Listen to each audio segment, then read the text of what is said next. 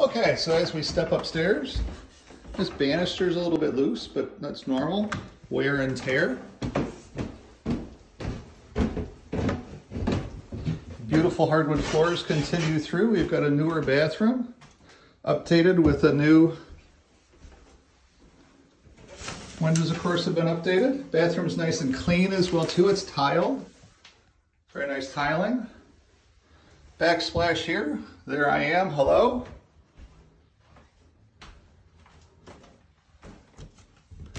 Got this wonderful storage area built in when the house was built. A third, uh, first bedroom here. Looking out over the front, you can see that our roofing tiles are the newer modern style, so that's good. Looking out over the park with the pine tree in front.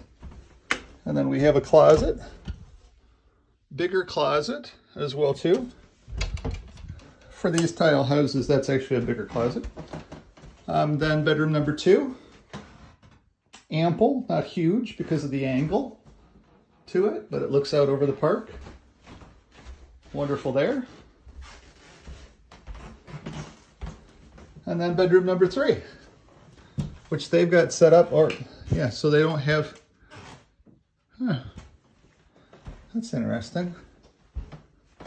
Two kids' rooms. I didn't see their bedroom anywhere. Let's look for that. But we've got this room is a third bedroom. Closets over there. I like it. I like it a lot. I like the classic charm of it. That's the part that I like. I like the concept that things have been updated in the house as well too. So there's three bedrooms upstairs and a bathroom upstairs. So if you have guests over, they got to go up there to go to the bathroom.